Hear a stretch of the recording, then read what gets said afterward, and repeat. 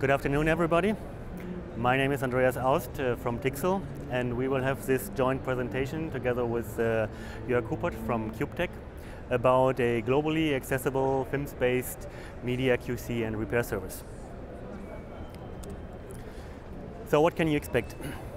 We will give a brief introduction about file transfer and quality control in the media production and what Cube-Tec and Tixel have done in that area so far. then we will give a very brief general introduction into FIMS and conclude with um, what we have done so far in the project and what the um, next steps will be.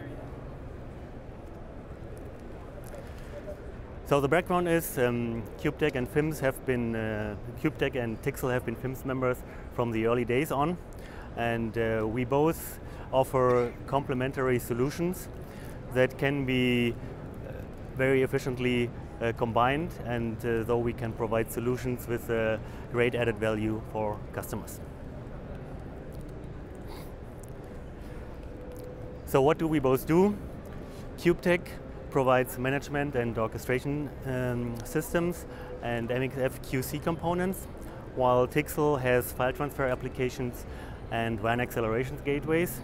And the good thing is, both of our core designs are already based on a service architecture.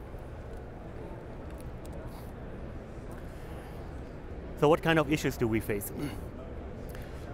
The Cube-Tec QC service currently can only be accessed very inefficiently from a global uh, customer base. And uh, Tixel's acceleration solutions don't come with a full-fledged management solution. So what is obvious, we both can uh, combine our efforts and uh, provide a solution that uh, has a minimum user workflow disruption. So what we want to try to do is, we have a central service that should be accessed from uh, users all over the world, efficiently. So uploads and downloads of large MXF files should be very fast and efficient. A more detailed view on the um, overall arch architecture um, looks like this. We have a end user with a PC and a web browser and a file transfer acceleration component. And in the back end, we have a, oh, we don't see the pointer? Okay. And in the back end, we have a, um, a web application server, a workflow orchestration system, the QC component, the MXF legalizer, a file transfer acceleration component, and uh, a file server which um, makes it possible to exchange the data between those. The control path is going through the web browser and uh, the application backend through the orchestration system and the data path is uh, going on a different way using the file transfer acceleration. So the benefits of this kind of setup are obvious. We could offer a cloud-based media QC and uh, repair service, for example, for evaluation purposes. And in the end, of course, we would be able to provide a packaged certified uh, software solution for globally operating organizations.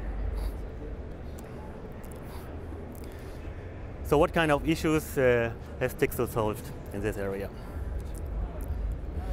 If you consider a typical uh, file-based media production uh, workflow, you certainly face the massive data problem. For example, 30 minutes of content can either be represented by two gigabytes of data or by two terabytes of data. So this will not only be a challenge for your storage system, it will also be challenging for your entire workflow when you need to transfer those data between the different workflow steps. Since file transfer is a, a very recurring procedure in an entire workflow, it states a bottleneck in many workflows. So what can we do about that? If we use an optimized acceleration solution for the transfer part in the old workflow, we can efficiently reduce the overall processing time. So regarding FIMS, what we have done uh, in Tixel, we have uh, wrapped our file-based um, transfer um, module in a FIMS adapter, which makes it possible to, for example, interchanges with an, a module that uses a standard transfer solution, like FTP, for example. What is the problem with traditional systems? Traditional systems are tightly coupled, so you have, uh, if you want to change one component, uh, that influence all the components uh, in the whole system. So what can you do about that? so you have to replace single parts uh, and uh, change that to a service-oriented architecture. So it, as you can imagine, a service architecture is more like a toolbox uh, instead of a coupled uh, tool. So you are more flexible and exchangeable with your services. so you, you get uh, from that tightly coupled systems, you get an, an service bus where you have a clear defined interface and only one interface to the service bus and that help you to structure and uh, get your services independent from uh, what your uh, other services do. And that is a great step, uh, but uh, that's not enough. You have to look for FIMS, uh, how you can manage that for the demand of media. Media is special in, in a way that media is big means big files. Media means special interfaces and services. you need the long-running processes. You have special formats to support, so you need SOA uh, in a way that fits for media.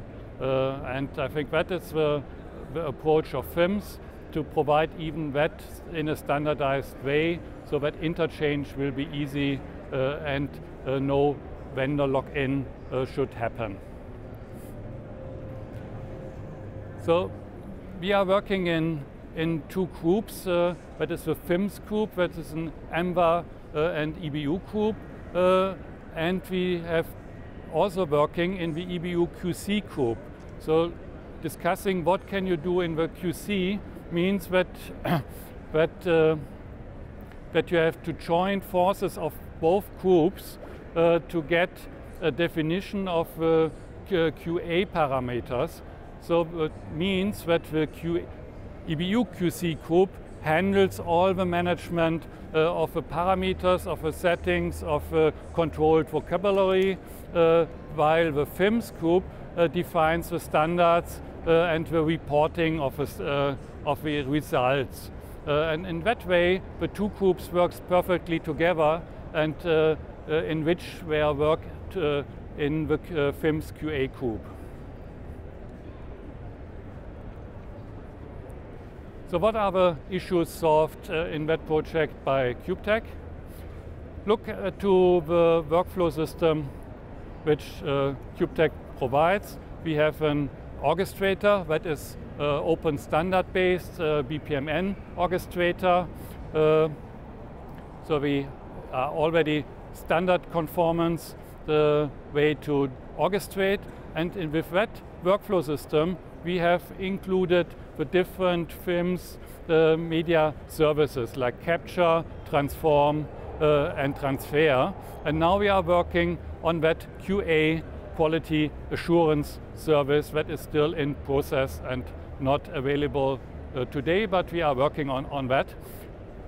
On the other side, we have uh, developed an interface, uh, also FIMS-based, to the enterprise MUM system, uh, and we can be connected uh, to so that we are controlled by a MUM system, have a own, uh, an own system for orchestration and uh, orchestrate again different uh, uh, services. That is a layer of service orchestration that is needed in the market and I think that is a good strategy for future. So Q QC and automatic repair is our uh, specialty. So we not only doing the analysis of the issues, we also provide technology to repair that file. And that is exactly the added value in that uh, service we describe, so that we can upload files, uh, repair files, and provide that files in a repaired way. So QC is only half of a, a job, and uh, to get repaired files is what you need at the end.